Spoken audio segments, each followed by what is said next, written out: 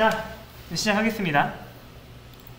오픈 들어가서 SBS 들어가서 안드로이드 스튜디오 프로젝트가 아니구나.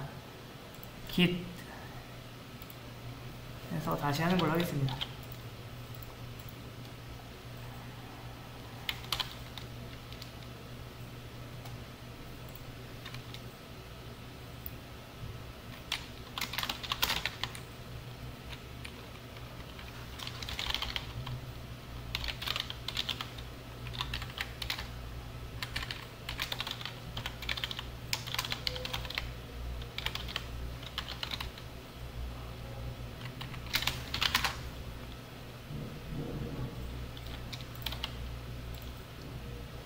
됐다. 네. 클론.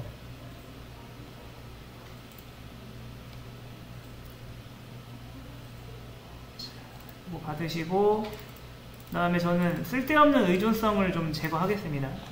여러분 이제 스테토는 안 써도 돼요. 그러니까 스테토는 뭐라고 될까요? 음, 이제 안드로이드 내부 프로파일러가 생겨가서 프로, 스테토는 쓸 이유가 없기 때문에 스테토 지울 거예요. 그 다음에 그러면은 또 어디를 붙여야 되냐? 좀 잘못된 데를 좀 붙여볼게요. API 들어가서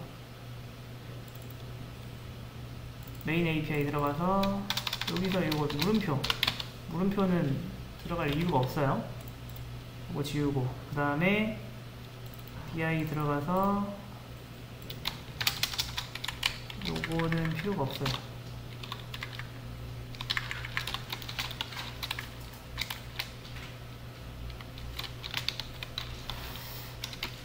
알파벳로 하시고 실행 얘를 꾹 눌러서 앱 정보 눌러서 설치 제거 하시는 게 좋습니다.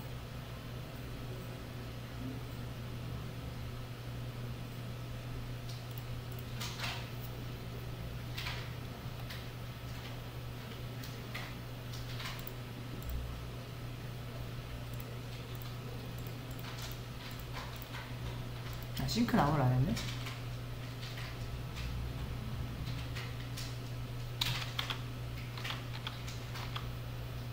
싱크다운 한 번만 할게요.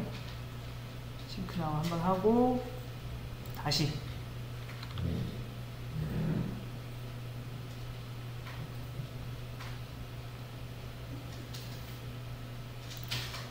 이런 거 나오면 업데이트 해주시면 돼요. 업데이트 해주시고 아, 이렇게 나오면은 안 돼요. 이렇게 나오면 이게 내용이 두 개가 나와야 돼요. 안 나오는 이유를 한번 알아보겠습니다. 안 나오는 이유.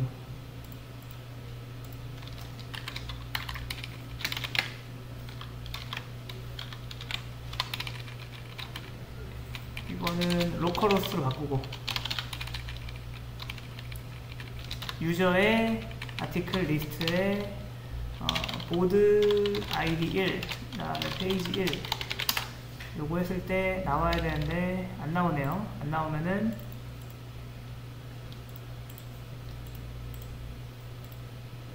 아 요거 요걸 안 했지? 요거 다시 한번.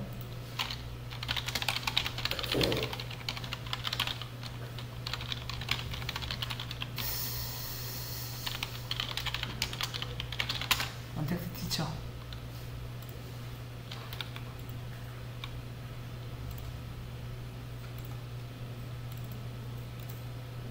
했지만 없어져서 다시 하는 거예요. 제가 이클립스 버전을 지금 STS 버전을 4.4에서 4.91로 바꿨습니다.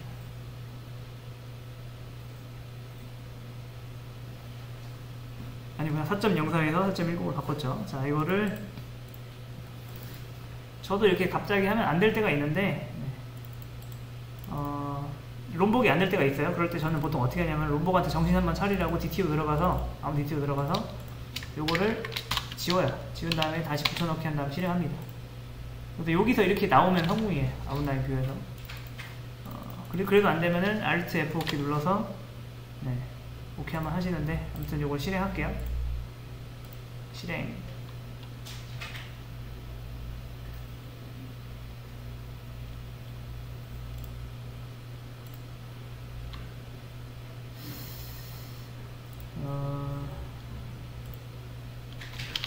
다시 실행해보면 잘 나오죠? 이제 여기서 다시 실행해볼게요. 그럼 잘 나와야 돼요. 두 개는 나와야 돼, 두 개, 글이.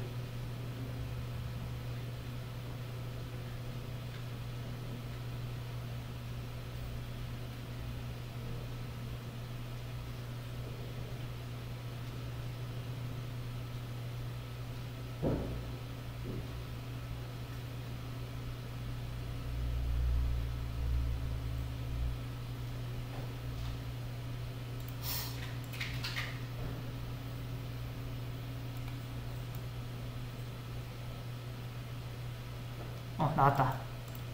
여기까지 나오면 일단 성공입니다. 자 일단 이번에 제가 뭐 했냐면은 요거 지웠어요 요거. 요걸 지웠고 그 다음에 build JSON 들어가서 이제 Stetho 같은 거 Stetho라는 거는 어 디버깅에 도움을 주는 건데 이제 안드로이드 profiler라는 게 발전을 해서 지울 수 있나? 이렇게 네트워크가 뭐 이렇게 돼 있다 뭐 이런 것까지 다 돼요 다시 한번 해볼까요? 네트워크가 통신이 일어났는지 다시 해보면은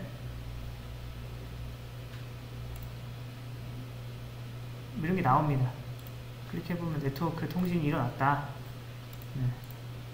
뭐 이런 건데 여기에 원래 자세한 데이터가 나와야 되는데 요거는 안 나오면은 요거는 좀 뭔가를 건드려 줘야 되는데 아무튼 요거는 뭐 나중에 한번 알아보고 아무튼 그 Stetho가 필요 없어서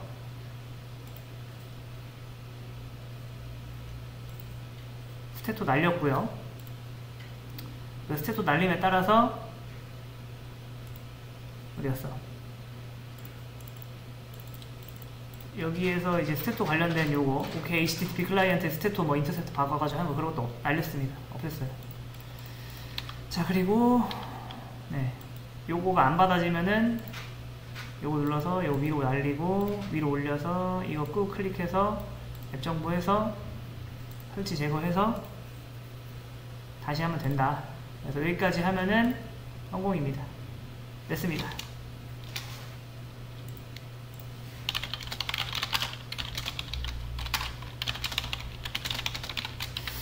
어, 스테토 제거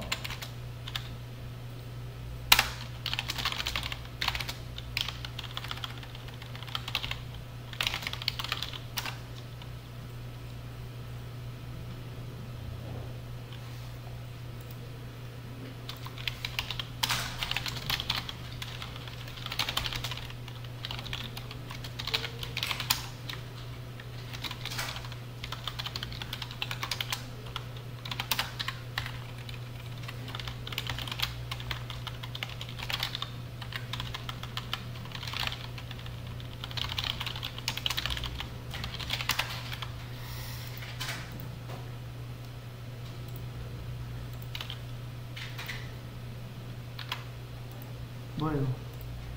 컨트롤 C 다시 한번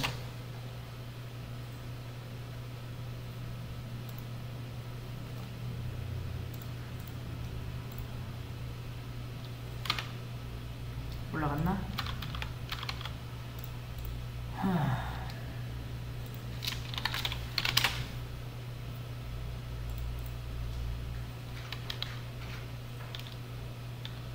안 올라갔네?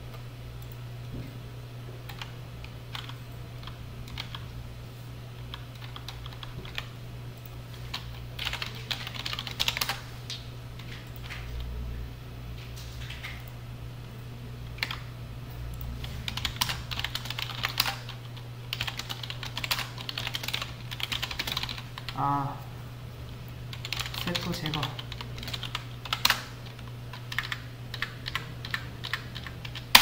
다시. 됐다. 일단 됐습니다